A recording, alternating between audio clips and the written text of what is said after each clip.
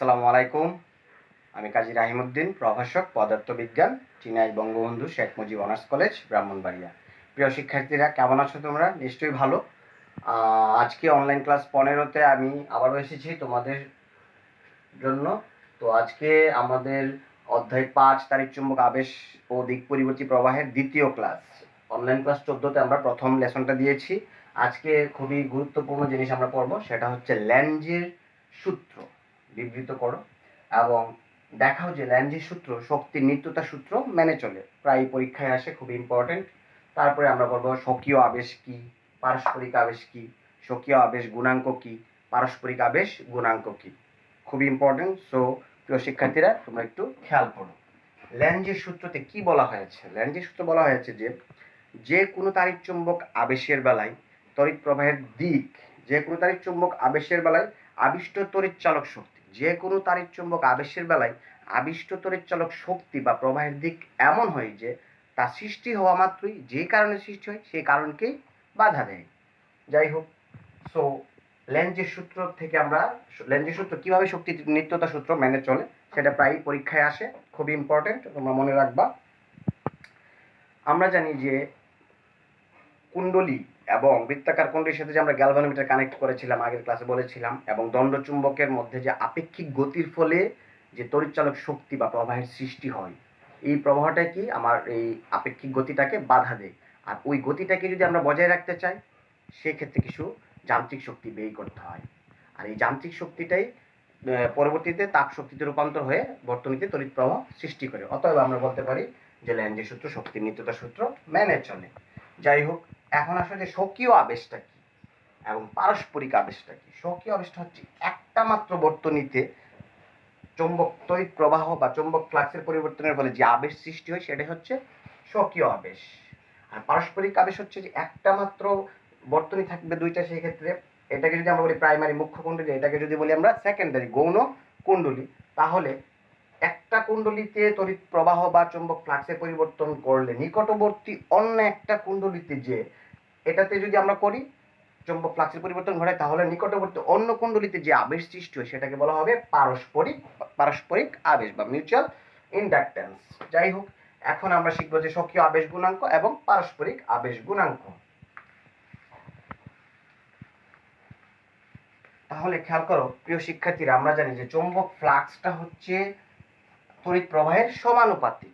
So আমরা লিখতে পারি phi equal to L I এই হচ্ছে আমার ফর্মুলা তাহলে এখানে এল ইকুয়াল টু আমরা লিখতে পারি ফাই বাই আই এলটাই হচ্ছে একটা সমানুপাতিক ধ্রুবক, যাকে আমরা বলব স্বকীয় আবেশ গুণাঙ্ক। স্বকীয় আবেশ গুণাঙ্ক। তাহলে নিশ্চয়ই পরি- প্রিয় শিক্ষার্থীরা বুঝতে পেরেছ যে phi equal to L I এখন যদি আমি এখান থেকে আমরা এল বের করে নিয়ে আসতে পারব, এবং স্বকীয় আবেশ গুণাঙ্কের একক হচ্ছে henry H E N R Y যদি আমার মিলি হেনরিতে দেওয়া থাকে, তাহলে আমরা হেনরিতে নিয়ে নিব। Ten inverse three henry micro হেনরিতে থাকলে আমরা টেন ইনভার্স সিক্স হেনরিতে কনভার্ট করে নিয়ে নিব। তাহলে স্বকীয় আবেশ গুণাঙ্ক। এখন যদি আমার আয়ের মান যদি আমরা ওয়ান ধরি, তড়িৎ প্রবাহ যদি একক একক তড়িৎ প্রবাহ পরিবর্তনের জন্য ফাই ইকুয়াল টু এল তাহলে কি দাঁড়াচ্ছে? একক তড়িৎ প্রবাহের পরিবর্তনের জন্য যে চৌম্বক ফ্লাক্স তাকে আমরা বলব কি? স্বকীয় আবেশ গুণাঙ্ক। এখন প্রিয় শিক্ষার্থীরা খেয়াল করো, একটু আগে আমরা ফ্যারাডের দ্বিতীয় সূত্রে যে সমীকরণটা পেয়েছিলাম phi equal to E equal to minus D phi DT তাহলে আমরা ফায়ার মান এখানে বসিয়ে দিতে পারি। তাহলে ই ইকুয়াল টু কি চলে আসবে? মাইনাস ডি ডিটি অফ ফায়ার মান যদি বসিয়ে দেই এল আই তাহলে আমরা এল কে কনস্ট্যান্ট ধরলে minus L D I DT এই ফর্মুলাটা অবশ্যই অবশ্যই আমাদের মনে রাখতে হবে। তাহলে এই ফর্মুলা দিয়ে আমি আবিষ্ট তড়িৎচালক শক্তি বের করতে পারব স্বকীয় আবেশ গুণাঙ্ক বের করতে পারব, তড়িৎ প্রবাহের পরিবর্তনের হার বের করতে পারব। তাহলে খুবই ভালোভাবে মনে রাখবা E equal to minus L DI DT এখন যদি পরীক্ষায় বলে যে আমার যে তড়িৎ প্রবাহ পাঁচ এম্পিয়ার থেকে দশ এম্পিয়ারে নেওয়া হলো, বা দশ থেকে পনেরো এম্পিয়ার নেওয়া হলো, সেই ক্ষেত্রে আমার ডিআই এর মান চলে আসবে যদি আমি পাঁচ থেকে দশে নেই, পরিবর্তনটা আসবে মাইনাস তাহলে এই মাইনাস আর এই মাইনাসে হয়ে যাবে প্লাস আর যদি আমি দশ থেকে পাঁচ বিয়োগ করি, সেই ক্ষেত্রে আমার প্লাসের মান আসলে, সেই ক্ষেত্রে আমার মাইনাস না দিলেও চলবে, সেটা দিয়ে আমরা ঋণাত্মক দিক বুঝাই। তাহলে প্রিয় শিক্ষার্থীরা খেয়াল করো, এখান থেকে আমি ইজিলি এল বের করতে পারব। L equal to minus E DT L equal to minus E DT by DI নিশ্চয়ই প্রিয় শিক্ষার্থীরা একটু বুঝতে পেরেছ? তাহলে আমরা সক্রিয় আবেশ গুণাঙ্ক বুঝে ফেললাম? এখন চলে আসো যে আমরা পারস্পরিক আবেশ যদি বুঝাই, আবার আমরা জানি চৌম্বক ফ্লাক্স ইকুয়াল টু চৌম্বক ফ্লাক্স তড়িৎ প্রবাহের সমানুপাতিক। তাহলে আমরা এই সমানুপাতিক চিহ্নের ওঠায় একটি ধ্রুবক বসালাম এম আই আগে ছিল এল আই এল ছিল সক্রিয় আবেশ গুণাঙ্ক, আর এখন হবে এম আই এম হচ্ছে পারস্পরিক আবেশ গুণাঙ্ক। তাহলে M equal to five by I তাহলে এখানে এম হচ্ছে স্বকীয় সরি পারস্পরিক আবেশ গুণাঙ্ক। পারস্পরিক আবেশ গুণাঙ্ক। এর একক হেনরি। সক্রিয় আবেশ গুণাঙ্কের একক হেনরি পারস্পরিক আবেশ গুণাঙ্কের একক হেনরি আর এল হচ্ছে সক্রিয় আবেশ গুণাঙ্ক। সক্রিয় আবেশ গুণাঙ্ক। ফর্মুলাগুলো প্রিয় শিক্ষার্থীরা খুব ভালোভাবে মনোযোগ দিয়ে দেখ, মনে রাখতে হবে। কারণ ফর্মুলা না পারলে তুমি ম্যাথে কিছুই পারবে না। তাহলে ম্যাথ করার জন্য আমাকে অবশ্যই ফর্মুলাগুলো মনে রাখতে হবে। এখন আমি যদি ফায়ের মান আবার ওই সমীকরণে বসাই খেয়াল করো, এখন যদি আমার তাক সংখ্যা উল্লেখ থাকে সেই ক্ষেত্রে আমার ফর্মুলাটা হবে equal to minus N L DI DT তাহলে আমার ফর্মুলা ছিল equal to minus D phi DT তাহলে আমরা যদি একটু আগে আমরা যে সমীকরণটা পেলাম ডিডিটি অফ ফায়ার মান এম আই তাহলে আমরা চলে আসবে মাইনাস এম ডিআই ডিটি তাহলে প্রিয় শিক্ষার্থীরা নিশ্চয়ই বুঝতে পেরেছ স্বকীয় আবেশ গুণাঙ্ক আসলে আমরা এই ফর্মুলা ইউজ করব এবং পারস্পরিক আবেশ গুণাঙ্ক আসলে আমরা এই ফর্মুলা ইউজ করব। এখান থেকে এম বের করা যাবে পারস্পরিক আবেশ গুণাঙ্ক। আর আবিষ্কৃত চলক শক্তি আসলে এটা ইউজ করব ই অথবা এটা। নিশ্চয়ই প্রিয় শিক্ষার্থীরা এটুকু বুঝতে পেরেছ?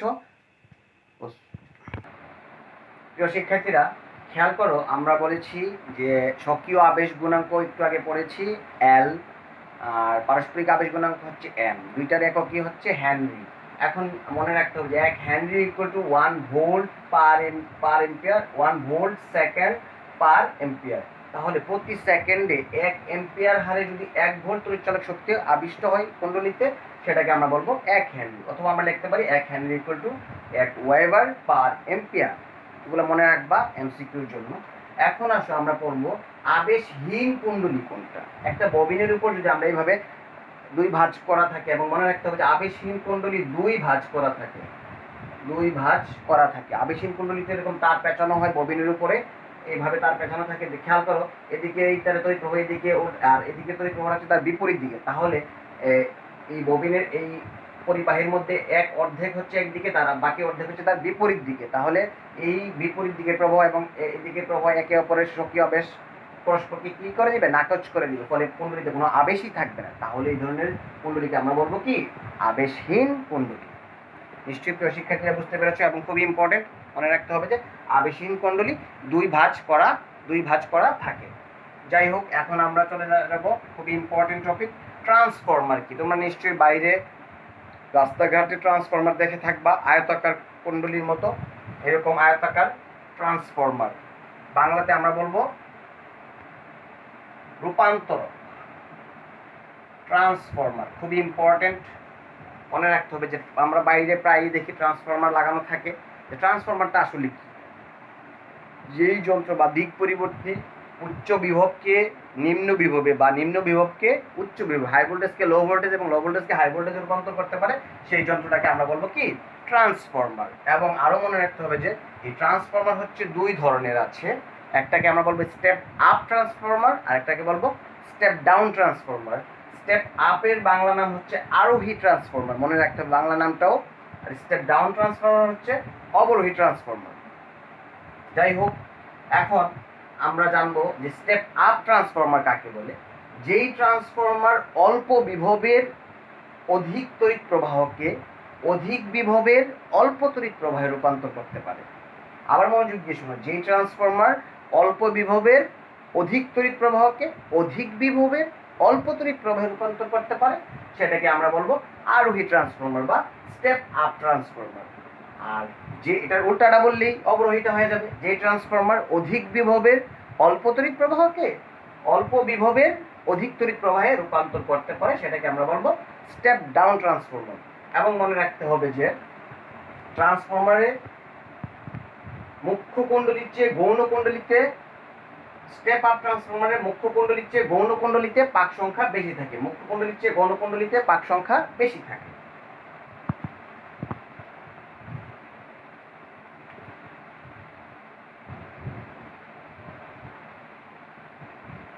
তাহলে প্রিয় শিক্ষার্থীরা খেয়াল করো, ই দিয়ে আমরা বুঝি আবিষ্ট তড়িৎচালক শক্তি অথবা ভোল্টেজ।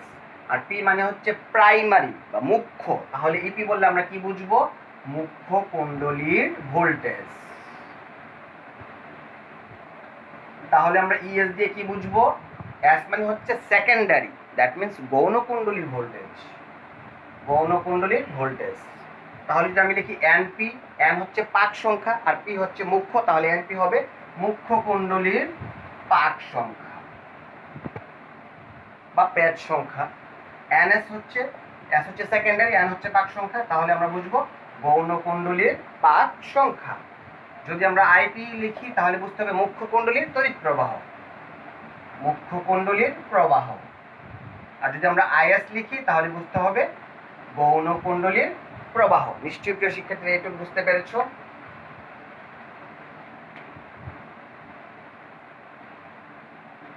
এখন আসো আমাদের মুখ্য কুণ্ডলী ভোল্টেজটা মনে রাখতে হবে minus N P D phi DT এটাকে আমরা এক নং দিয়ে দিলাম, এবং গৌণ কুণ্ডলী ভোল্টেজ হচ্ছে minus N S D phi DT so আমরা এক ও দুই থেকে কি লিখতে পারি? এক ও দুই থেকে লিখতে পারি EP equal to EP by ES যদি আমি এক ও দুই থেকে এক ও ভাগ দুই দিই, এক নং ভাগ দুই নং, তাহলে লেখা যায় EP by ES equal to NP by NS তাহলে তোমার ফর্মুলা হয়ে গেল। তাহলে এই ফর্মুলাটা মনে রাখতে হবে EP by ES equal to NP by NS তাহলে আমরা বলতে পারি যে মুখ আবিষ্ট তড়িৎ চালক শক্তি কার সমানুপাতিক? পাক সংখ্যার সমানুপাতিক। এটা আমরা বলতে পারি। এবং যদি তড়িৎ প্রবাহের সাথে সম্পর্কটা দেখানো হয়, তাহলে মনে রাখতে হবে EP ES equal to IS by IP তাহলে যদি আমরা কম্বাইন করি, তাহলে কি লেখা যাবে? EP by E S equal to NP by N S equal to IS by IP এই ফর্মুলাটা মনে রাখলেই তোমরা এই ধরনের যে কোনো ম্যাথ আসলে আশা করি পারবা। EP by ES equal to NP by NS equal to IS by IP এখন আসো, যদি আমার পরীক্ষায় সৃজনশীল প্রশ্ন আসে যে একটা প্রশ্ন দিয়ে বলো যে, উদ্দীপকের ট্রান্সফরমারটি কোন ধরনের? এটা কি স্টেপ আপ নাকি স্টেপ ডাউন এটা আরোহী ট্রান্সফরমার নাকি অবরোহী ট্রান্সফরমার তাহলে যদি এই শর্ত মানে খেয়াল করো, যদি এনএস গ্রেটার দেন এনপি হয়, যদি মুখ্য কুণ্ডলীর গৌণ পাক সংখ্যা মুখ্য কুণ্ডলীর চেয়ে বেশি হয়, অথবা ইএস গ্রেটার দেন ইপি হয় গৌণ কুণ্ডলীর ভোল্টেজ বেশি হয়, তাহলে এটাকে আমরা বলব স্টেপ আপ ট্রান্সফরমার আর যদি এটার বিপরীত হয়, যদি NS greater than NS less than NP হয় গৌণকুণ্ডলীর পাক সংখ্যা, মুখ্যকুণ্ডলীর পাক সংখ্যার চেয়ে কম হয়, অথবা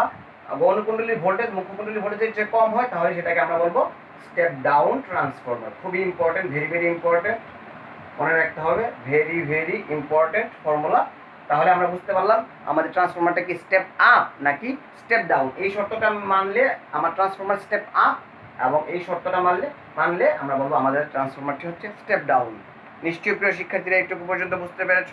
তো সবাই ভালো থাকো, দেখা হবে আবার অনলাইন ক্লাসগুলোতে যদি আল্লাহ পাক বাঁচিয়ে রাখেন সবাইকে ভালো থাকো, বাসায় পড়াশোনা করো। এই চ্যাপ্টারের বাকি অংশ নিয়ে আমি হাজির হব। অনলাইন ক্লাস শুরু সে পর্যন্ত সবাই ভালো থাকো। সবাইকে অগ্রিম ঈদের শুভেচ্ছা, ঈদুল ভিতরের শুভেচ্ছা, ভালো থাকো। আল্লাহ হাফেজ।